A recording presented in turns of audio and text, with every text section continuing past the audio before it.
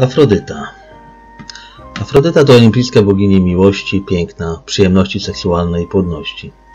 Regularnie uczęszczała do niej kilku jej dzieci, erotesów, które są w stanie wzbudzić pożądanie miłości zarówno w śmiertelnikach, jak i bogach, zgodnie z wolą bogini. Przedstawiana jest jako zarówno nienasycona, jak i nieosiągalna. Afrodyta urodziła się u wybrzeży wyspy Kithira, z piany morskiej powstałej z kastrowanych genitaliów Uranosa. Mimo, że była żoną Hefajstosa, miała romans ze wszystkimi olimpijczykami, oprócz Zeusa i Hadesa. Najsłynniejszy, z Aresem, bogini, bogiem wojny. Miała też słynne romanse z dwoma śmiertelnikami, Anchisem i Adonisem. Nazwa Afrodyta jest zwykle powiązana ze starożytnym greckim słowem piana morska, afros, które ładnie pasuje do historii jej narodzin. Jednak współcześni uczeni sądzą, że zarówno Afrodyta, jak i jej imię pochodzą z czasów starożytnej Grecji, a mit faktycznie powstał z powodu imienia bogini. Tak jak Apollo reprezentował ideał męskiego ciała, tak Afrodyta reprezentuje ideał kobiecego ciała. Piękna i czarująca, często była przedstawiana nago, jako symetrycznie idealna dziewica.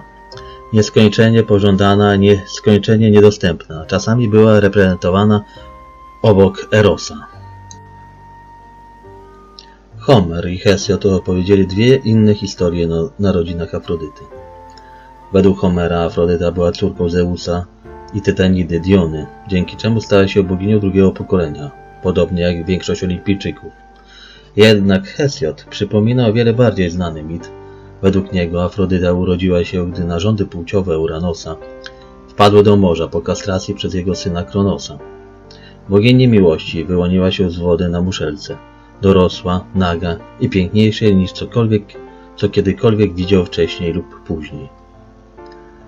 Afrodyta była tak urocza, że tylko trzy dziewicze boginie, Artemida, Atena i Hestia, były odporne na jej urok i moc.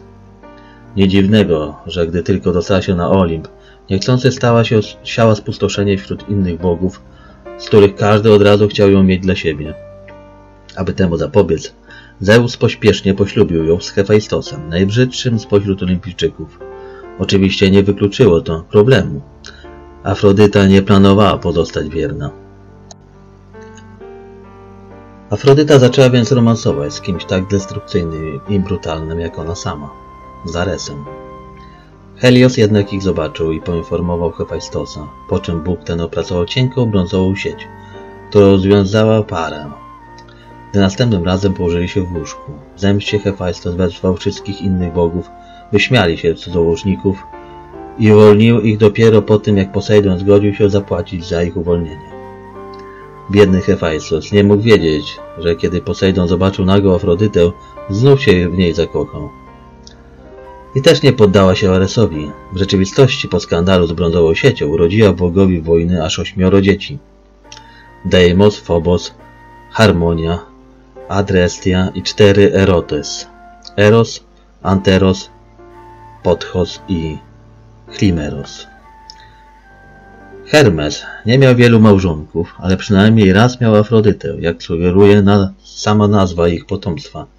Herma Afrodytów. A jeśli weźmiemy pod uwagę Piapus, jak zwykle uważany za syna Dionizosa i Afrodyty, wydaje się, że tylko Zeus i Hades nigdy nie zakochali się w bogini miłości. Ale ten drugi nawet nie mieszkał na Olimpie, a ten pierwszy mógł być jej ojcem. Afrodyta pewnego razu zabrała chłopca, którego znalazła obok Miry do zaświatów i poprosiła Persefonę, aby się nim zaopiekowała. Kiedy jednak po latach poszła go odwiedzić, od razu zakochała się w niezwykle przystojnym śmiertelniku. Poprosiła więc, aby Adonis, bo tak miał na imię chłopiec, wrócił. Persefona nie chciała pozwolić na zabranie chłopca. Zeus rozstrzygnął kłótnię, dzieląc czas Adonisa między dwie boginie. Jednak Adonis wolał Afrodytę, a kiedy nadszedł czas, nie chciał wracać do zaświatów. Persefona wysłała dzika, aby go zabił, a Adonis wykrwawił się na śmierć w ramionach Afrodyty. Para miała dwoje dzieci, Beroe i Golgosa. Innym razem Afrodyta zakochała się w trojańskim księciu zwanym Anchises.